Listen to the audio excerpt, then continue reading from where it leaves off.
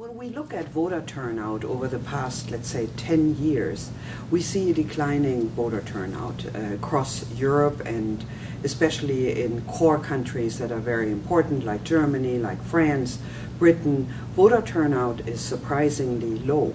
In uh, East Central European countries, the new member states, voter turnout has been a little higher. Uh, countries like Italy have high voter turnout. Um, but overall, the trend is similar in every single country.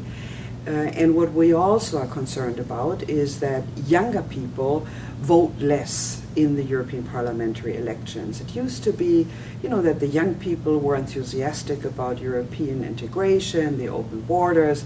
We talk about the Erasmus generation, the students who travel across borders. But in fact, when you look at the breakdown of who is voting, um, the percentage of young people under 25 uh, voting for the European Parliament um, has gone down in all member countries. And this, of course, gives rise to parties who are naysayers, parties who don't like the European Union.